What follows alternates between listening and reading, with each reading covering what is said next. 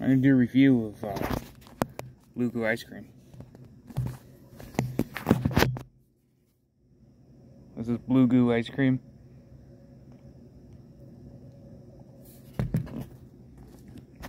Only a couple places that make it. Actually, like several, but some places don't. Looks like it's, I don't know if it's like bubblegum or maybe something like that. I've always liked it because it was always been good. So it's like blue right there.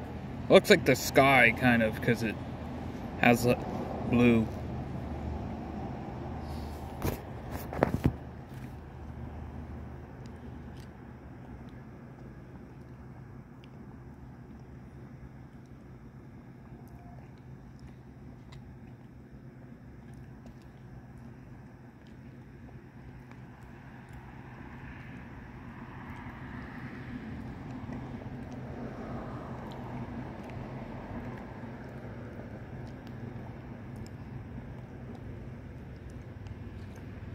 I think it's like similar to like birthday cake or something.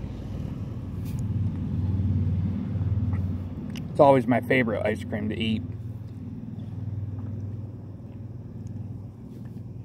Pretty good.